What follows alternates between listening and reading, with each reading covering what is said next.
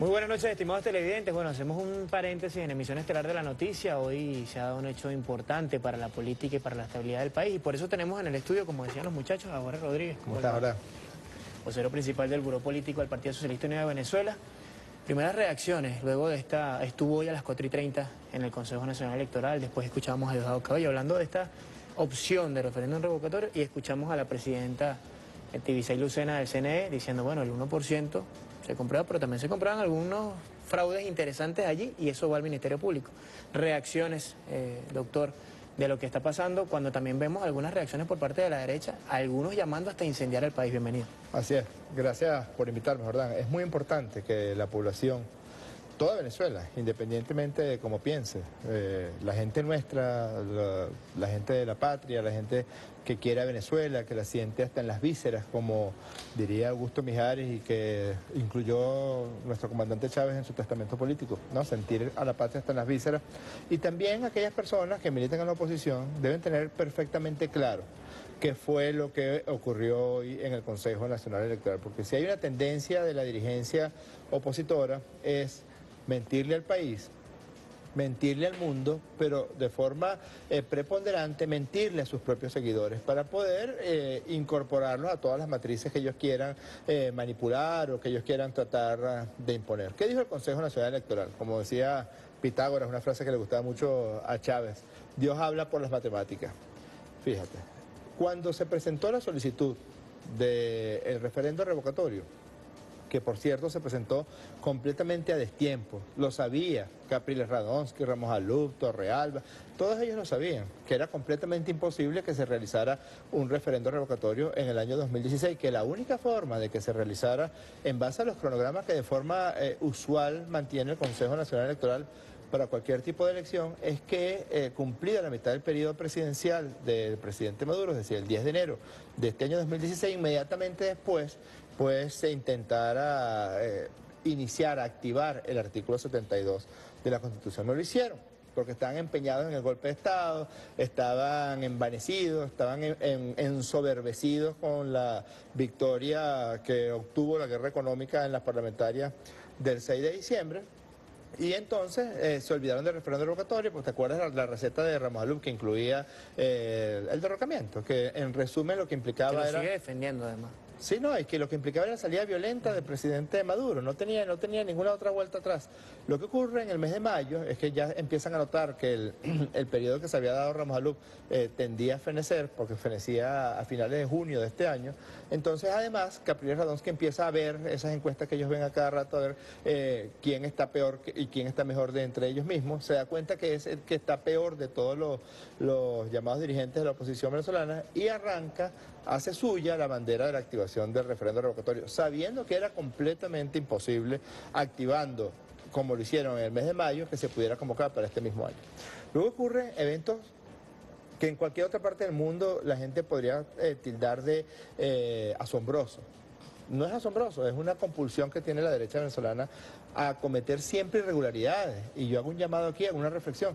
Yo creo que ya es un momento importante para parar de forma definitiva. Si ustedes quieren participar en política, tienen que participar en política eh, limpiamente. Tienen que participar en política fair play, como se dice en el béisbol. No pueden participar en política jugando siempre a dos bandas, cometiendo suciedades, incursionando en la violencia, incursionando en el fraude. Ya lo han hecho demasiadas veces. Lo hicieron en la Cuarta República, lo hicieron en el 2004, porque realmente en su ensuciaron la solicitud de referendo revocatorio a presidente Chávez. Y bueno, el hecho curioso que ocurrió es que ellos tenían que recoger 195 mil firmas, cosa que se hace en media mañana, que es una cosa relativamente sencilla de hacer. Tenían 30 días para recoger 195 mil firmas y allí empiezan los eventos fraudulentos y mentirosos. Capriles dice que recogieron 3 millones de firmas. Primero y último número. 3 millones de firmas, dijo Capriles, y terminaron siendo verificados por el Consejo Nacional Electoral 390 mil firmas, algo así como el 10%, del total que dijo Capriles Radonsky. Pero después dijeron, él dijo que votó 800 mil firmas porque no las pudo verificar. Y aquí hay otro, el segundo elemento que es muy importante, que es la confesión que hace Capriles Radonsky porque dice que todas y cada una de las firmas que ellos presentaron al Consejo Nacional Electoral fue debidamente auditada, fue debidamente verificada. En consecuencia, se hace responsable Capriles, Torrealba, el delincuente de Juan Carlos Caldera, Ramos Alú, todos ellos se hacen responsables de lo que entregan ante el Consejo Nacional Electoral. Ese millón novecientas mil firmas que entregaron al Consejo Nacional Electoral es absoluta responsabilidad de Capriles y sus amigos. Y además, siempre hubo testigos de la derecha, los 29 días que duró el proceso de evaluación por parte del Consejo Nacional Electoral, siempre estuvo, y yo tengo todas las actas, son 29 actas firmadas, perdón, son 54 actas firmadas por los testigos nuestros y por los testigos de la derecha. ¿Y ahí que se encontraron? 607 mil, todo eso está en el informe que presentó el Consejo Nacional Electoral hoy. No tengas duda que los medios de comunicación internacionales y todas esas grandes corporaciones mediáticas van a tratar de tapar lo que el Consejo Nacional Electoral presentó hoy. El Consejo Nacional Electoral presentó también que 607 mil firmas no cumplían con los requisitos que había establecido el Poder Electoral. Ahí hay 10.995 muertos, Jordán. Ponte tú que a alguien se le olvidó poner su número de cédula hay cédulas eh, rechazadas porque no, no, tienen el número o porque no coinciden con el nombre. Pero es muy difícil que una persona que haya fallecido, incluso una persona que nació en 1898, venga, salga de la tumba, firme y luego vuelva al sarcófago. ¿Aparecen con esa fecha? 10.995. Aparece una persona de 138 años de edad firmando. Luego hay algo que es incluso más grave que lo de los fallecidos, si cabe. Hay 9.333 cédulas inventadas, cédulas que no existen.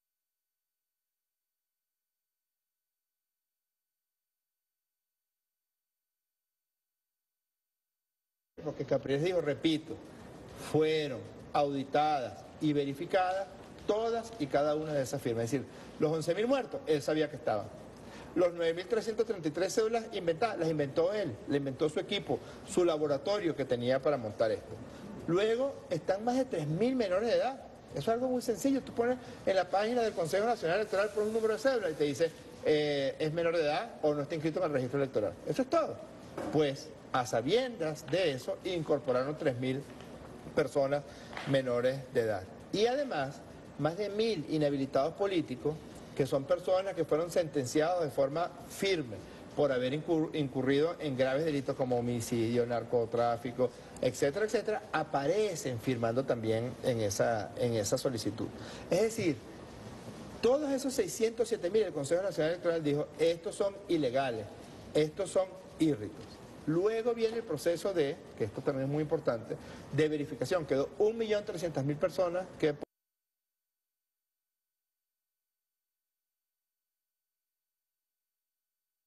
haber colocado más de 400 máquinas en 128 municipios del país y además cinco días. El presidente Nicolás Maduro fue electo en un solo día. Cinco días para recoger la firma.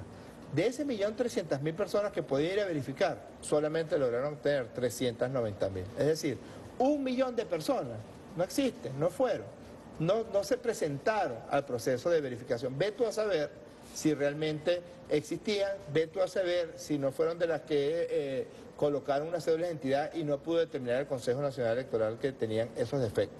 Doctor, usted decía hoy, en base a todas estas eh, evidencias, ¿no? porque están allí, son científicas, se han comprobado, se han corroborado, que este proceso estaba muerto antes de nacer. Esa afirmación llama mucho la atención, sobre todo porque ya los medios comienzan a decir que el Consejo Nacional Electoral pues aprueba la primera fase del proceso revocatorio y ya va a una segunda fase. No, es que hay que ver el informe, o sea, tú lees el informe, el informe que dice, dice todo esto que yo te estoy mencionando, es decir, todos los eventos irregulares que se encontraron y además unos adicionales, porque no contentos con haber puesto los muertos, la cédula falsa, los jóvenes eh, que no menores de 18 años, personas, pusieron personas en el estado de Nueva Esparta, en el estado de Anzuategui, a tratar de usurpar la identidad con las captahuellas. Es decir, hay un grupo adicional de eventos irregulares y el Consejo Nacional Electoral detectó esos eventos y los presentó ante el Ministerio Público.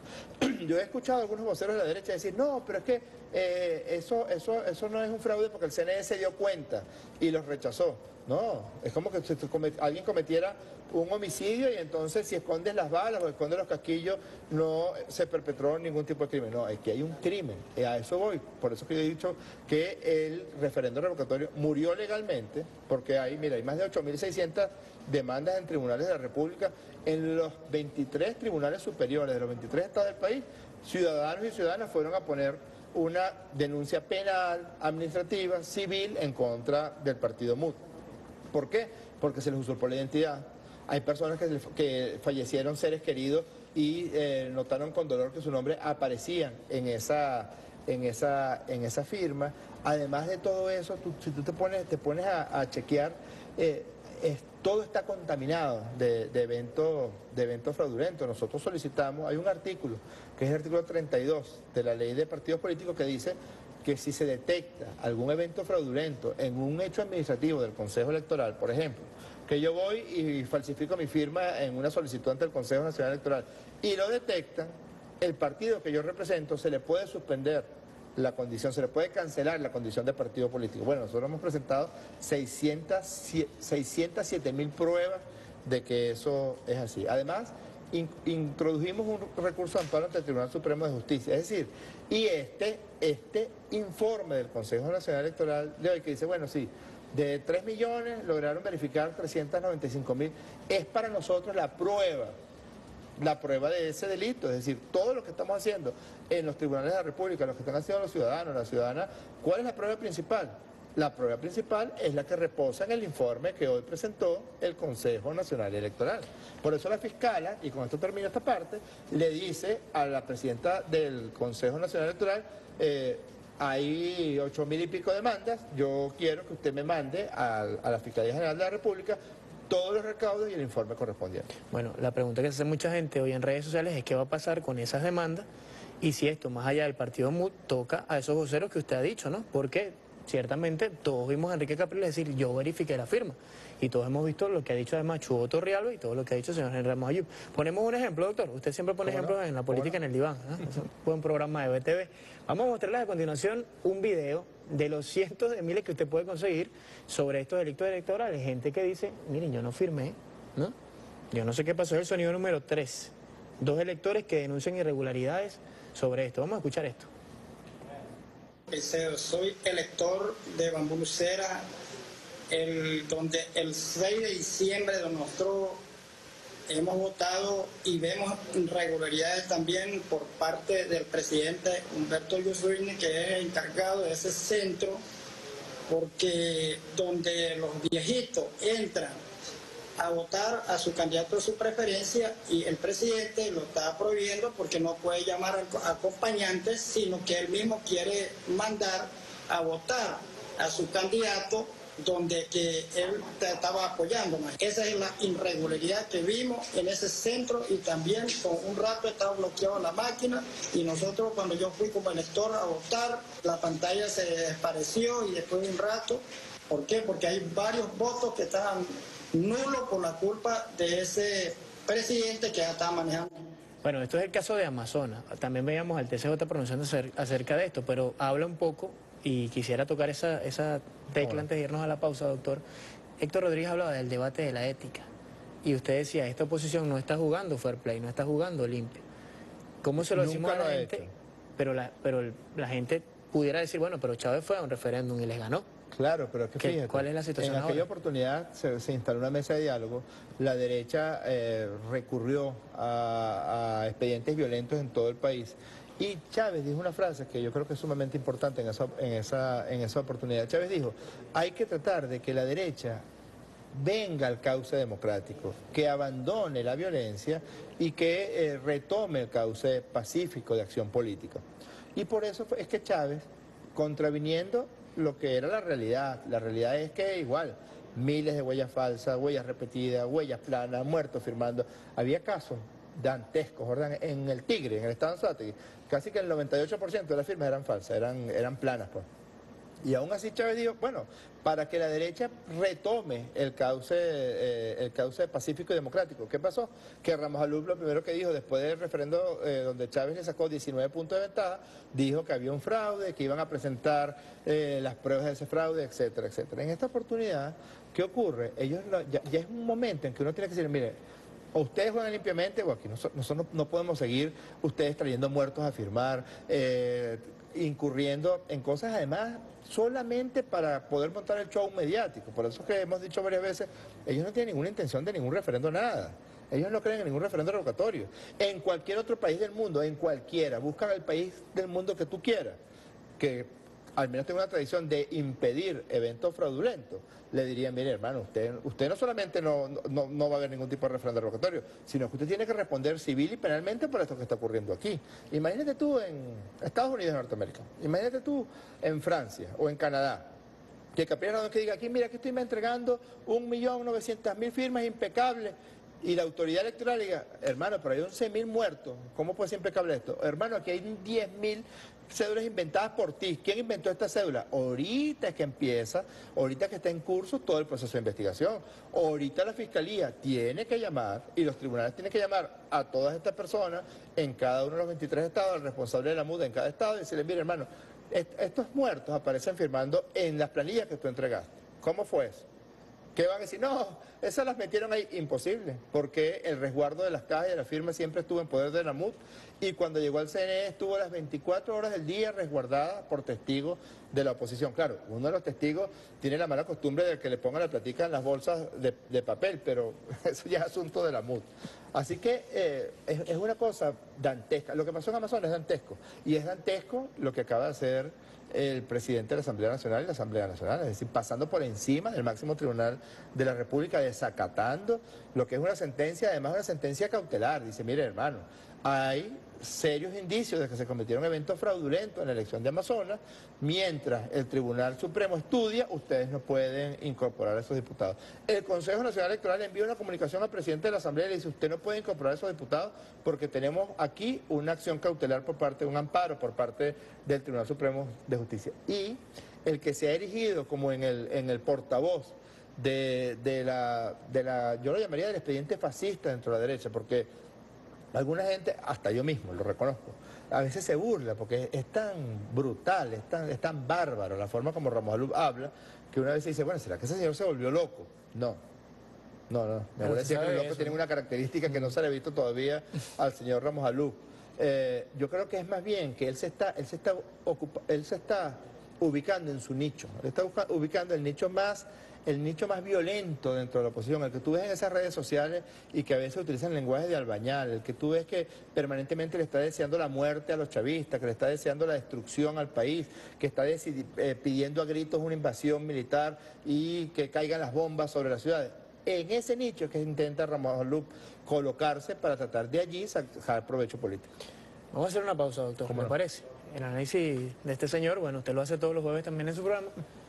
La gente se pregunta mucho qué viene ahora, qué va a pasar ahora. Bueno, se verificó el 1% en los 24 estados del país, ahora viene el 20%. Y hay que ver cuáles son los números con los que cuenta la derecha, en todo caso, un escenario negado, bueno, se den todos los procesos limpiamente, aunque las evidencias dicen que nunca juegan limpio. Hoy, hoy, hoy lo que se evidenció también es que, que feneció legalmente el referéndum revocatorio. Hablamos de eso a la vuelta de la pausa. Y no se puede pedir dos veces en el mismo periodo presidencial. pausa. Ya venimos con más de esta conversación agradable con Jorge Rodríguez acá, en este paréntesis maravilloso en la emisión estelar de la noticia. Ya venimos. Bueno, seguimos en esta entrevista especial estelar hoy con Jorge Rodríguez, amigo de la casa además, ¿ah? la política en el diván.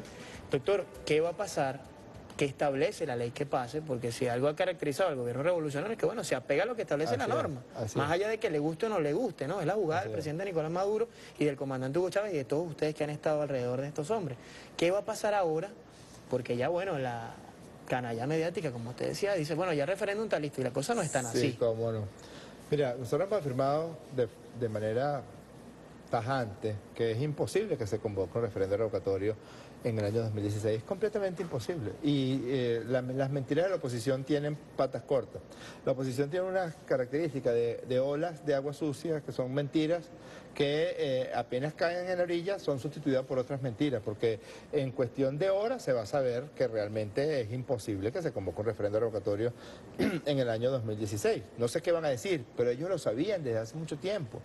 Para activar el referéndum revocatorio del 15 de agosto del año 2004 se requirieron 344 días desde que ellos empezaron a activar hasta que se realizó el 15 de agosto el referéndum revocatorio. Es una elección que requiere una cantidad de despliegues logísticos, técnicos y además hemos dicho de forma tajante, no va a haber referéndum revocatorio en el año 2016. Y yo digo, ahora no va a haber referéndum revocatorio. Es decir, lo que presentó el Consejo Nacional Electoral hoy es la evidencia, el cuerpo del delito, del más grande fraude que se haya perpetrado en la historia electoral de Venezuela, el más grande, donde de una manera además eh, palmaria, flagrante, porque por lo general este tipo de eventos fraudulentos se hacen en la oscuridad, entre gallos y medianoche, ¿no? Cuando el acta matavoto de los adecos, el doctor Regoxal, en el CNE todavía casi una pieza de museo. Cuando yo estuve allí, había un señor, un abogado, que le decían doctor Regoxal, porque le echaba laxante a los testigos de la Junta Electoral de los otros de los otros partidos y cuando tenían que ir a cumplir con la emergencia producto de, de la ingesta del medicamento le echaba laxante en los cafés y se iban, empezar el doctor Regoxal a romper, a romper actas. Por, por eso que ese, la máxima de que el acta mata Esto era real, doctor. Eso, es, eso, eso es absolutamente, Absolutamente verídico. cierto. Así como es absolutamente verídico que Acción Democrática tenía una copia del registro electoral y COPE tenía otra copia del registro electoral en sus bases de datos, en sus computadoras. Es absolutamente verídico que los años que había elecciones en la Cuarta República, la mortalidad bajaba, Jordán. ¿Sabes por qué bajaba la mortalidad? Porque el Ministerio de Sanidad no presentaba las actas de función de las personas que habían fallecido ese año para poder ponerlas a votar. Y entonces, esto fue lo que ocurrió.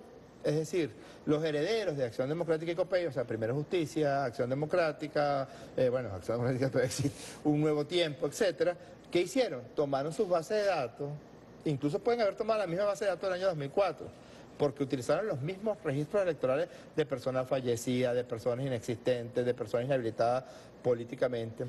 Entonces, no es solamente que no va a dar tiempo, es que ya legalmente es imposible. Es imposible por lo que hicieron, porque cometieron un flagrante, una flagrante violación del reglamento del Consejo Nacional Electoral. Y ya fíjate, ¿qué hizo el Consejo Nacional Electoral? Dijo, bueno, aquí está el informe.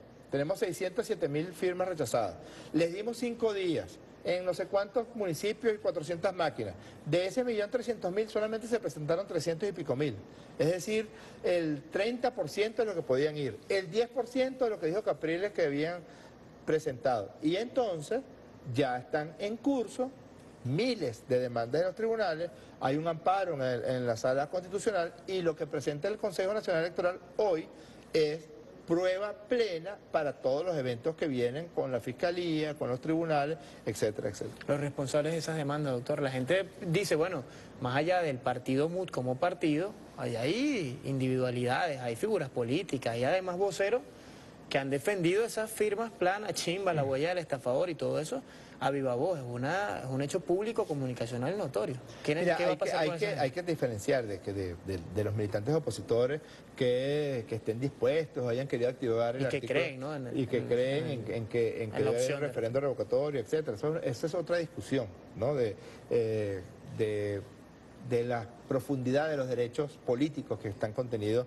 en nuestra constitución, que no están en ninguna otra constitución del mundo. Ve, ve a decirle a- al presidente de los Estados Unidos que le van a hacer un referendo revocatorio, ve tú a decirle a Macri ahorita que le van a hacer un referendo revocatorio, lo revocan. Lo revocan porque la popularidad se ha venido pero desplomando en el caso de Mauricio Macri. Esa es otra discusión, pero la verdad verdadera es que hay una responsabilidad de estos dirigentes irresponsables de la oposición venezolana que, bueno, que no, se pueden salir de, ese estilo, de esa, de esa forma de hacer las cosas que siempre tiene que ser recurriendo al fraude. Tú ves eh, la, la manera palmaria, Capriles casi que vamos a la calle. Mira, aquí no ha habido violencia en Venezuela en, esta, en este momento por dos razones. Una, porque el presidente Maduro ha sido, ha sido garante de la paz de la República y habría que ser muy mezquino para no reconocérselo. Si nosotros estuviéramos, mira, a merced de los deseos de Capriles, de Ramajalú, de Leopoldo López y de María Machado, esto ya se hubiera incendiado por los cuatro costados. No ha ocurrido porque los chavistas hemos mantenido de forma firme la paz de la República y a la cabeza de esa determinación está el presidente Nicolás Maduro. Y la segunda razón es que también el referéndum murió en la calle. Capriles convocó el jueves, dijo, vámonos todos al CNE. ¿Tú sabes cuánta gente reunieron en todo el país? Se las contamos, porque no era tan difícil. 862 personas en todo el país. Eh, dijeron, una foto de Bellomonte y no había más de 200 ahí no personas. habían- yo pasé por allí, yo pasé por allí, hasta saqué la mano en, en- en mi carro y lo saludé así, era yo. Y ahí no habían 220 personas en, en la esquina ahí de la Avenida Libertador donde estaban ellos, donde ellos estaban apostados.